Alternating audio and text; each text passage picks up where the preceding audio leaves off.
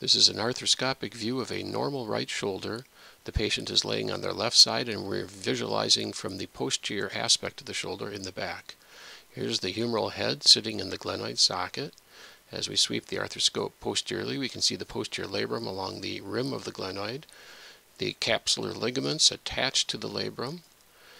As we bring the arthroscope superiorly or towards the top of the shoulder, we see the rotator cuff tendons as they attach to the humeral head.